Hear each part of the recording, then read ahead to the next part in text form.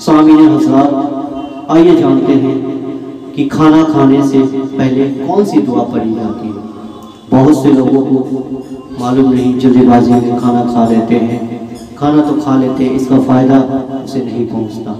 तो आइए हम जानते आका सल्लल्लाहु अलैहि वसल्लम की सुन्नत पे अमल करते हुए।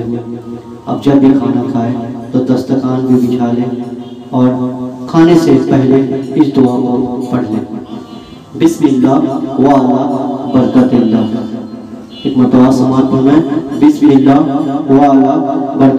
पर इसका मीनिंग है अल्लाह के नाम से और अल्लाह की बरकत पर खाता हूँ सुभान तो कोशिश रहे, खुद भी इस पे अमल करें। अपने बच्चों को, अपने घर वालों को भी इल्म दीन सिखाएँ। क्योंकि इल्म दीन सीखना हर मोमिन, मर्द, औरत पे फ़र्ज़ है।